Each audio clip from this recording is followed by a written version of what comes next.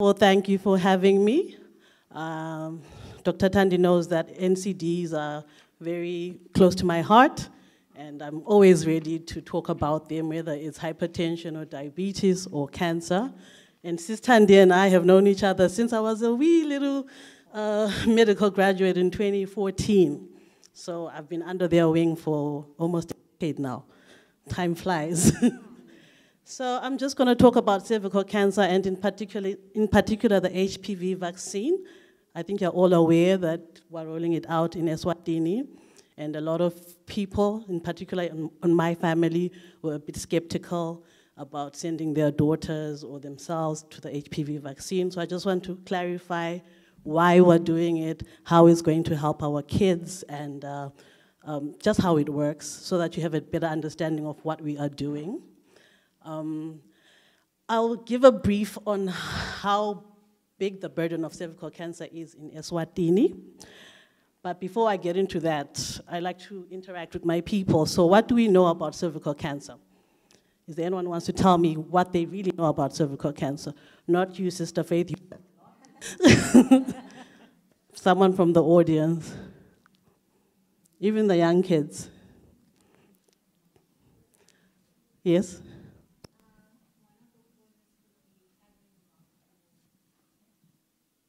Yes, that's one of the risk factors. Any other takers?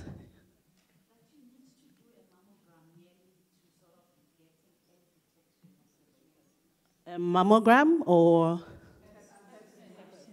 Yes, we will touch on pap smear and how it's no longer the gold standard. And yes, I'm going to touch a few people from the Ministry of Health about this, but pap smear is no longer the gold standard. but we'll get into that. So cervical cancer is the most common HPV-associated cancer among women, with about half a million cases uh, around 2008, and about half of those died in 2008. So about a quarter of the cervical cancers occur in women who are between the ages of 35 and 44. I think the majority of us are around there. So the majority of us need to do a lot of screening. And then we also do have some cases where 14% of the cases are between the ages of 20 and 34, which is really early onset cervical cancer, but we'll touch on the risk factors that could lead you to have early onset cervical cancer. And then we have the 23.9 who are above 45. Those are usually mostly um, late, not late uh, diagnosis but late presentation. We'll touch on the difference between a late diagnosis and a late presentation and how it affects the situation with cancers as a whole. So cervical cancer in Eswatini is the most common cancer in Eswatini. Eswatini has the highest incident rate of cervical cancer in the world. It's unfortunate, and a lot of people don't know this, but we have the highest incident of cervical cancer in the whole world. So it's a bit of a, a sobering thought to know that uh, we have the highest rate. Uh, to add to that, two thirds of all our cases of cervical cancer end in premature death. 66% of all the women that we diagnose with cervical cancer die within five years of the diagnosis. That is how serious the case is in Eswatini. I watch a lot of news like Thandi, I, read a lot of books, I watch a lot of news. I actually don't know any other channels besides the news channels. but I don't know if you people follow that there's actually a meeting in Botswana, I think it ended yesterday, to discuss the elimination of cervical cancer in sub-Saharan Africa. We had uh, stakeholders from Eswatini attend there, and we are the biggest uh, contributor to cervical cancer uh, patients in sub-Saharan Africa, and we have the worst um, treatment outcomes as of 2023. So the incident, as you can see, we have a 35.4% incident of cervical cancer within the country, of which it leads to 36.1% of all the deaths that are attributed to uh, cancers within the country. We'll touch on cervical cancer, but we'll also touch on other HPV associated cancers because a lot of people think it's just cervical cancer, but HPV is doing a lot more harm in the public than we are aware of. So uh, she touched on the risk factors for cervical cancer. So the factors that increase the risk are, for one, not attending for screening. And in this country, I can understand why you would not attend for screening because it's not mandatory. When I moved to the UK in 2021, two months after arriving, I got a call from my GP to say I need to come for my annual cancer screen for cervical cancer. Two months. They just got my address. They knew that this is my GP. They called me. They're like, You are due for your annual cervical cancer screen. How many of you can say they've had a cervical cancer screen in the last three years? In this forum. So we have a lot of work to do as just the public health sector, the ministry, about how we can, you know, increase uh, intake of screening. And then another risk factor is persistent infection with uh, HPV. I'm going to touch on the difference between persistent infection with HPV and a transient infection. Having many sexual partners or a sexual partner with many sexual partners. So it might not be you with the, with the many sexual partners, but your partner who you are uh, trusting has other partners. So that increases your risk of cervical cancer because it increases your risk of getting HPV. Smoking, uh, in this case, smoking nicotine. Um, smoking uh, snuff for bogogo, because they don't like to use the cigarettes, they like to, to use the snuff, so that also increases their risk. Any immunosuppressive disorder, uh, in our setting, it's usually HIV, but it could be any other immunosuppressive disease like cancer or being on chemotherapy or radiotherapy and such like. And having children at a young age. This is because if you have a child at a very young age, it means your sexual debut was also at a very young age. That increases one, the number of chances you're going to have more than one sexual partner. Two, for women, because this is a forum for women, we are aware that most of the time uh, in our society, a young girl's first sexual partner is usually a lot older than her. So chances are he's been already with other people before he was with her. So those are the issues that cause a, a higher risk factor, especially in, in our setting in Eswatini. And then not being vaccinated against HPV, which is why we are here. We're here to, to speak about why we should take our daughters for HPV vaccine. So the HPV vaccine, there are about 200 types of HPV, uh, HPV virus, I mean. And of those 200, about 40 affect the genital area. So some of them will cause genital warts, some of them will cause cervical cancer, some of them will cause anorectal uh, cancer, some of them cause penile cancer. And I know this is in a church setting, uh, but depending on what type of uh, sexual activities people do, HPV can also cause oropharyngeal cancers because of whatever activities people decide to do with their sexual partners. So we need to take that in mind as well. So though HPV exists and it causes our usual Watstin that we all have, especially La Swatini, that's another risk factor that they've discovered here, that we do have the genetic predisposition to getting HPV by virtue of just being La Swatini, Maswati, because a lot of us already have HPV, which we can also get from our mothers during natural childbirth.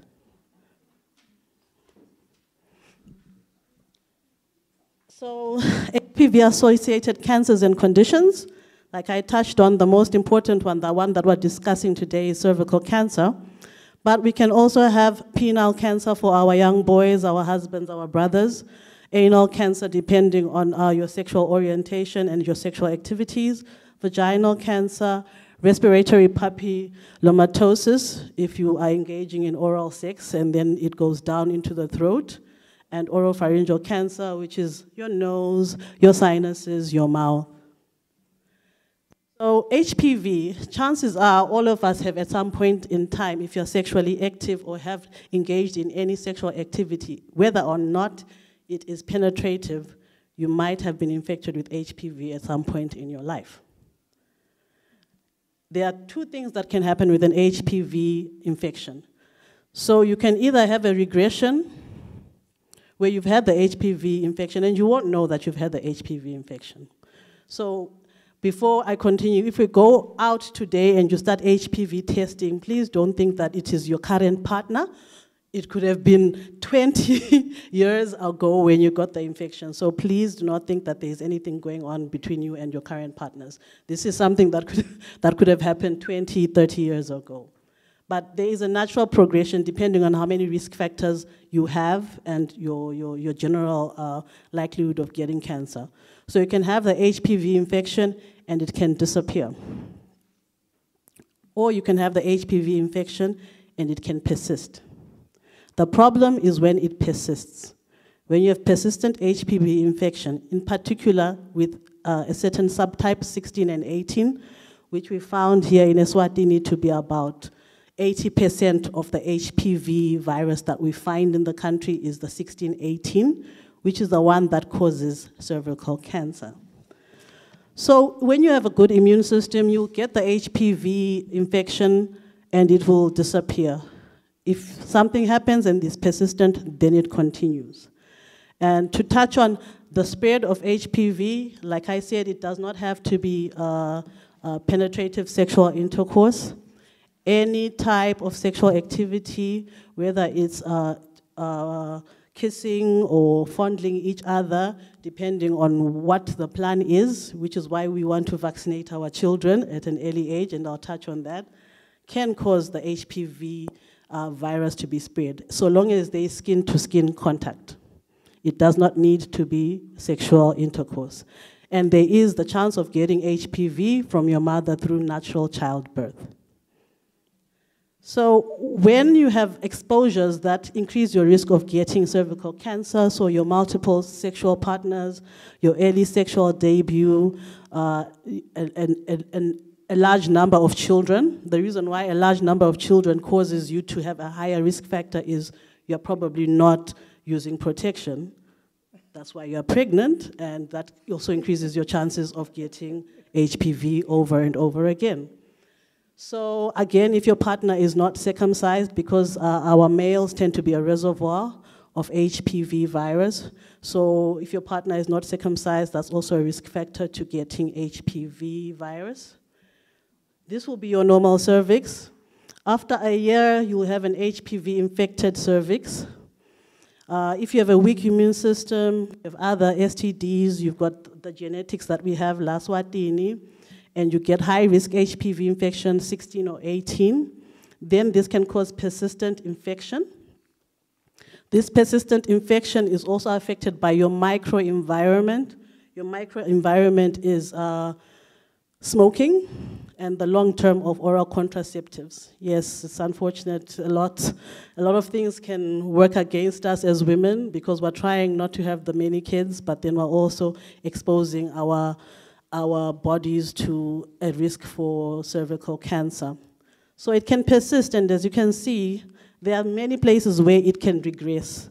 So you can just have the infection, or you can start having the changes that uh, Margaret Faith spoke about where you start seeing the cell changes in your cervix, but there's still chances of that infection actually regressing after four to five years. High grade is where the problem starts. Chances of a regression of that infection are very, very low, and chances of it progressing into cervical cancer become higher. Um, I will digress because people spoke about supplements and um, antioxidants. Uh, I read a lot.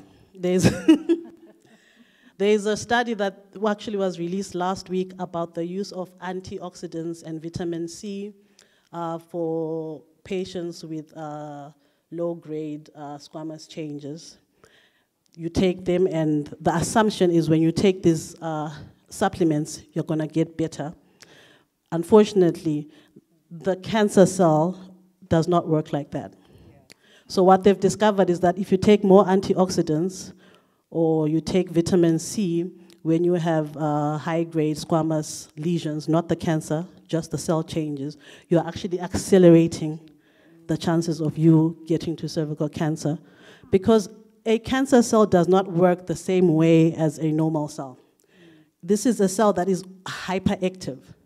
So when you give it something that can, because you are thinking, I'm going to give the vitamin C and the antioxidants to help my other cells get better.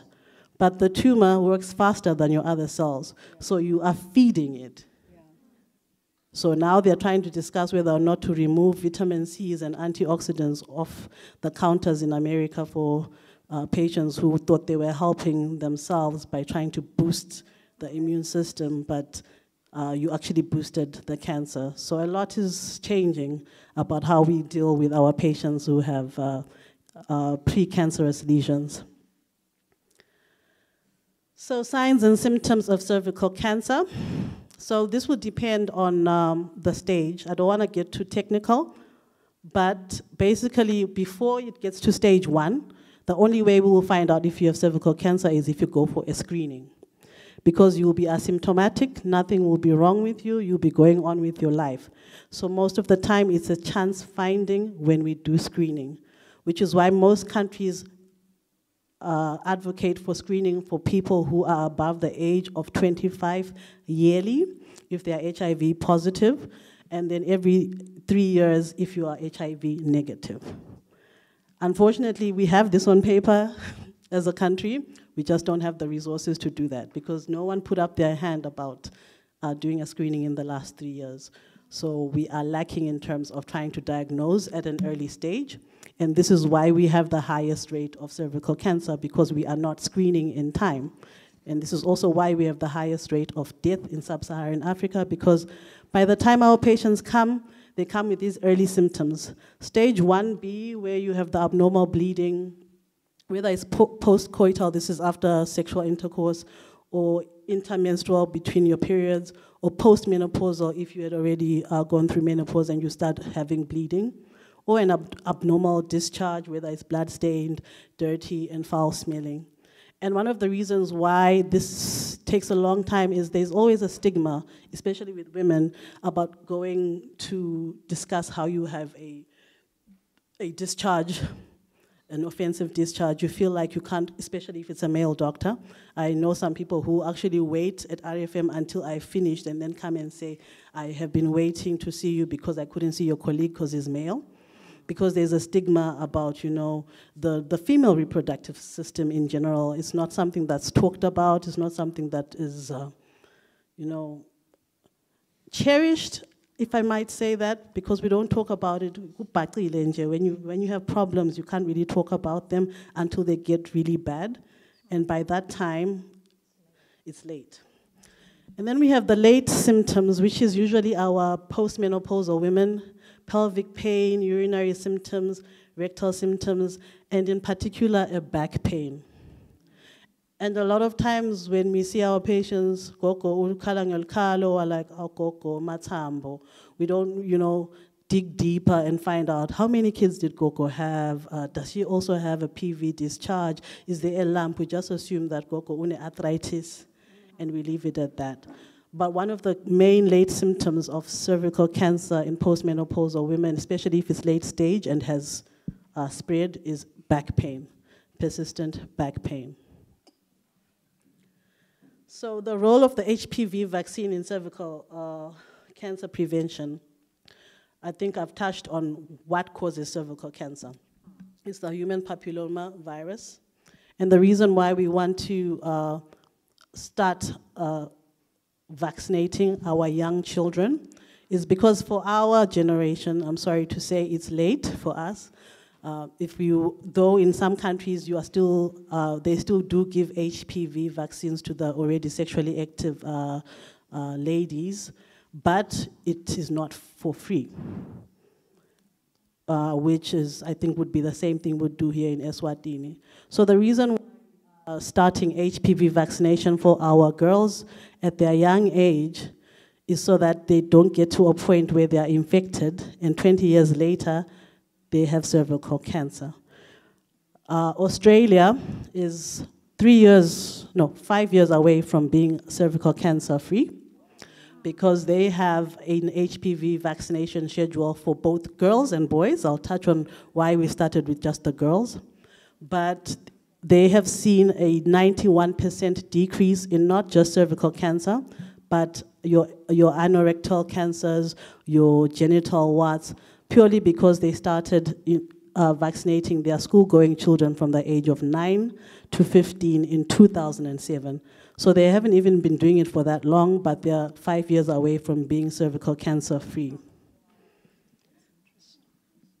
So currently, according to the Ministry of Health, we are giving two different vaccines depending on the availability. They are interchangeable, so please do not worry. So they all are from uh, Gardasil. We do not have GlaxoSmithKline, but we have Gardasil uh, 611, 16, 8, which we call Gardasil 4.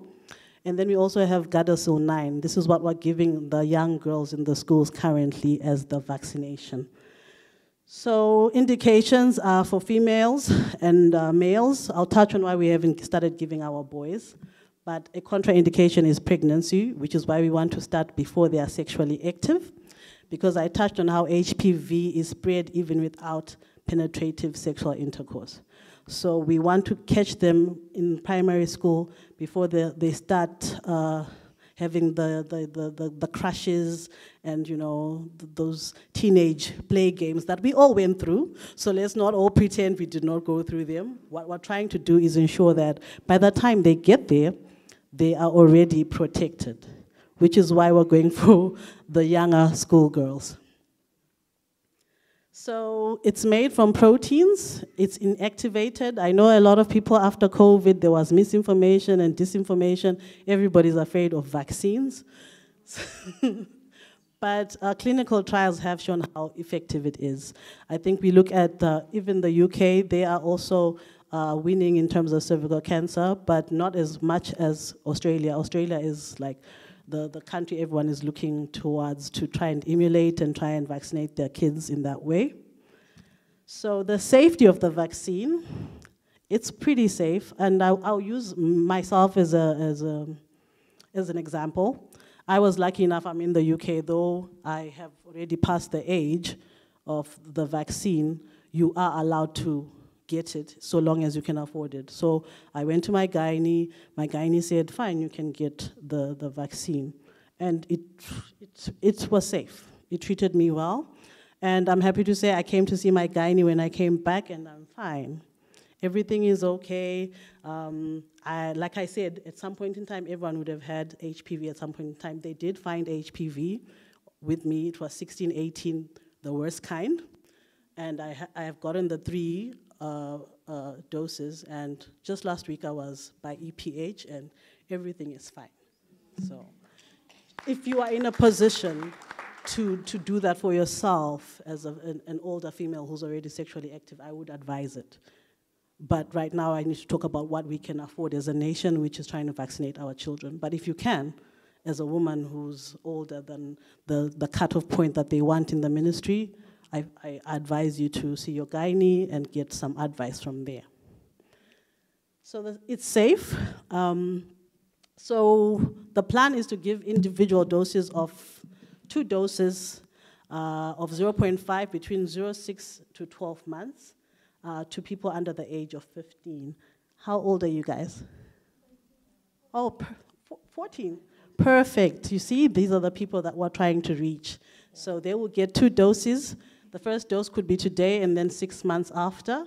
If uh, our children are immunosuppressed, because we do have our children who are living with HIV, those ones we plan on giving three doses. So it will be 0, 6, and 12.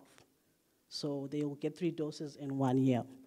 And then hopefully, once we've got the uptake, the plan is to go above the children who are above the age of 15 and try and, and try and give them three doses, regardless of their immunosuppression. The reason why after the age of 15 we are giving three doses is because we know puberty and what has happened between the age of 9 and 15, you might have already been exposed to some HPV viruses. So Possible side effects is just a regular mouth jovi where there's pain, and after that, that's fine. Uh, a lot of questions that I get from um, my sisters, um, my, my friends who, with daughters, when they started uh, rolling it out is, but she's so young. Why should I take my nine-year-old daughter to a vaccine that has something to do with cervical cancer and is more uh, inclined to when she has her sexual debut? And my answer is always, even with our kids in the immunization schedule, we don't wait for the measles to happen. We don't wait for, for, for diphtheria to happen. We try and protect them before the exposure. So it's the same thing is with our, our, our kids. We're trying to get to them before they have any exposure that could lead them to get HPV uh, infection. And then there's the question of the boys. That's another question I always get. We are a resource limited country. Ordinarily, we should be vaccinating all our children. In Australia, because when they started in Australia in 2007, they were only vaccinating their, their girls. And that actually caused herd immunity.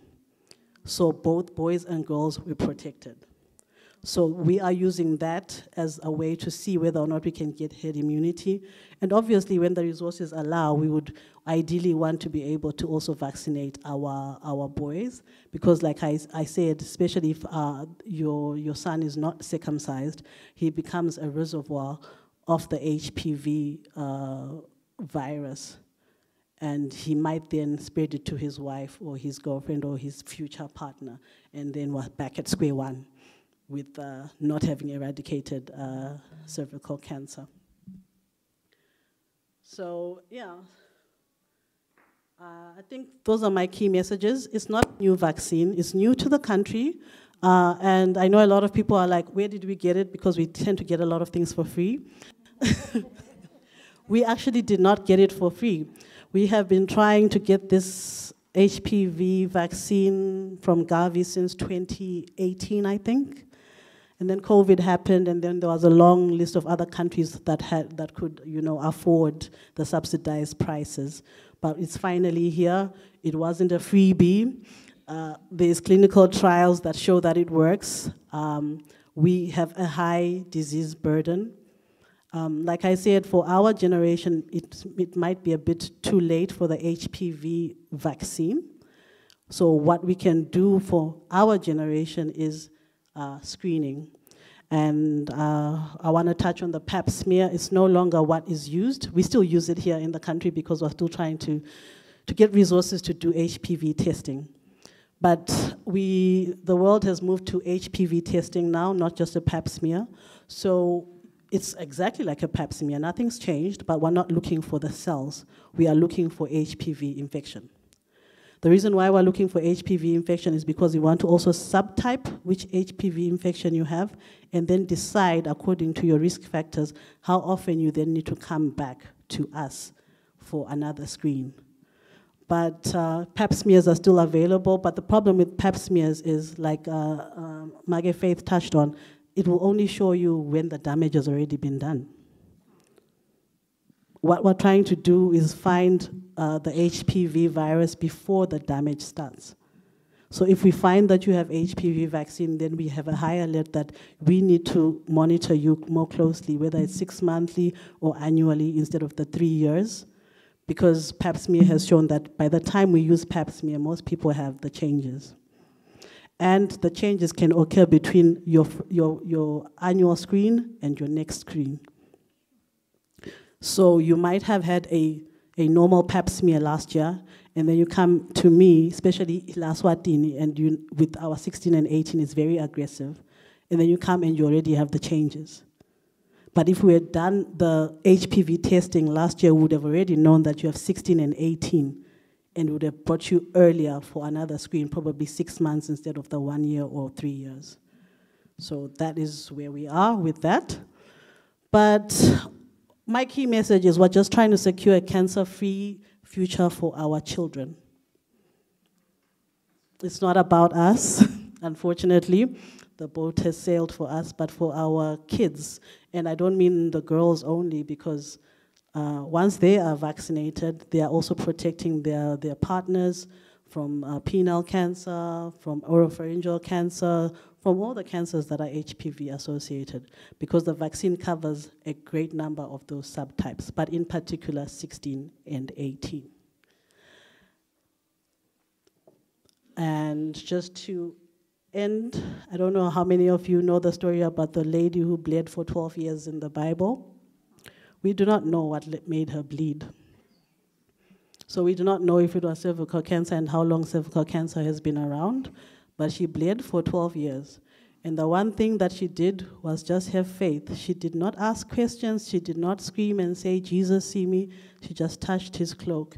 And because of her faith, he felt the power of healing leave him. And that's why he asked, Who touched me? So if you have a family member who has cervical cancer or any type of cancer, I think the Bible just teaches us to have faith. Like Mage Faith touched on, sometimes science will say it's not going to happen, and then God makes it happen. I am a testimony of that. A lot of people don't know. Um, when I went to UK, I got a very, very bad fungal infection and almost lost my eye. Uh, the Friday before I was supposed to sign uh, allowing them to remove my eye, uh, I called my family and we prayed. We prayed and we prayed, and then on Monday when they came to check me, she was shocked herself. She actually, she's an ophthalmologist from Egypt. She actually presented my case in Durban, I think early this year, because they tried everything. They cultured, they could not find what was wrong with me.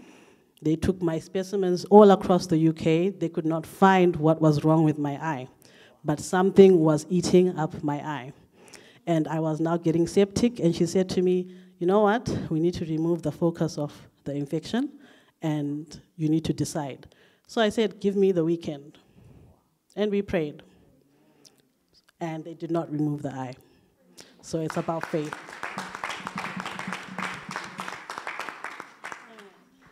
Thank you for your time. Are there any questions?